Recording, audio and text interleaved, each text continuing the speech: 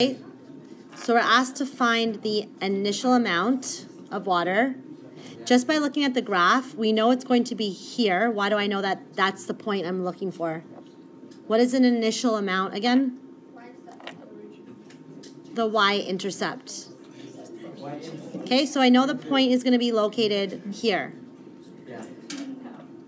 Can you just guess what that point is from the graph? No. You need to calculate it, okay?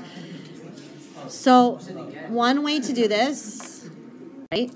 In our equation, this is a linear equation. What's what is the equation for a line?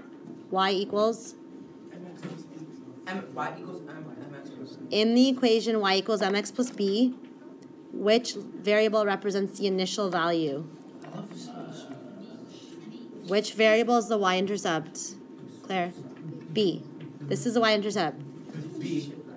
What does m represent? This is the slope of the line. Shh. Just from the graph, we don't actually, we're not told what the slope is. We can calculate it, but we are given a point, which is x and y, right? Yeah. What is one of the coordinates they give you? Phil? What is one of the coordinates? Yep. 20 and 20, 45,000. We're actually given another point right here. What are, where is this point located? 70, 0. Okay, so we do have an x and a y. From this graph, can we find the slope? Can we calculate m? Okay, Christine, how do you find slope of a line? m equals y2. Good. Okay, so let's call this x1, y1, and we'll call this x2, y2. Okay, so y2 is 0 minus y1 is 45,000 over, what's my x2? Five. Four, five. 70 zero, zero, minus Twenty. 20. Okay, 0 so take away 45,000 is negative 45,000, and what's 70 take away 20? Fifty. Okay, Negative forty-five thousand over. what's negative 45,000 divided by a positive is negative, what? It's easier to work with if we simplify it. So the slope of this line is negative. Does that make sense? Is the slope decreasing? The line, okay. Negative 900. Do you want to do you want to work with this coordinate or do you want to plug in this coordinate? Liam.